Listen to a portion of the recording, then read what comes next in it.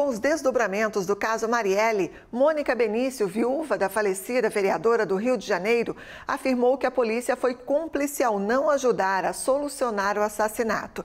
A Polícia Federal prendeu neste domingo três supostos mandantes do assassinato da vereadora do Rio e do motorista Anderson Gomes em 2018, no mais recente avanço das investigações sobre o crime.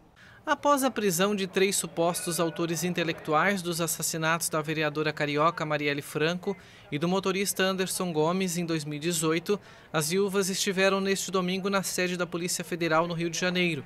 Na saída, as duas falaram com a imprensa. Sem dúvida nenhuma, hoje é um passo importante para a democracia para todo o Brasil. Mas é também, em algum lugar, o início de uma nova luta, porque a gente quer que todos sejam responsabilizados, todos sejam identificados que a gente possa ter justiça por Maria e Anderson. O tempo, de, depois de seis anos, eu acho que o mais perto que a gente já chegou. Eu espero que ainda avance muito mais, porque ainda é pouco, como a Mônica disse, ainda não tem uma resposta clara da motivação, então ainda não, não fechou, ainda não tem a história completa.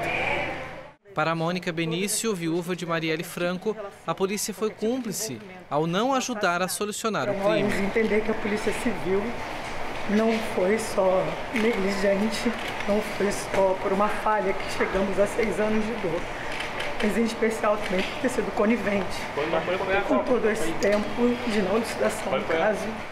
Na manhã desse domingo, o conselheiro do Tribunal de Contas do Rio de Janeiro, Domingos Brazão, o irmão dele, o deputado federal Chiquinho Brazão, e o ex-chefe da Polícia Civil do Rio de Janeiro, Barbosa, foram detidos após a justiça ter avaliado a confissão de um dos suspeitos de executar o assassinato, que já estava detido.